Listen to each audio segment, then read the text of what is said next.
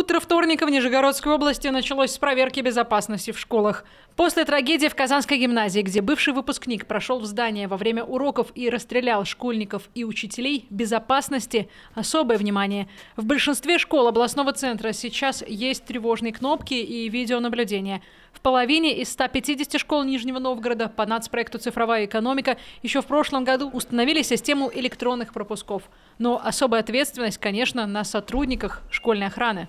Что будет, если сейчас, вот прямо сейчас, ситуация повторится, вот ваши действия?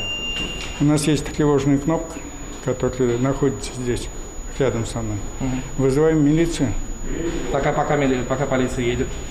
Ну, если смогу, то постараюсь задержать. Сейчас в рамках э, Э, проекта городской администрации в школах устанавливаем скуды, которые оборудованы камерами.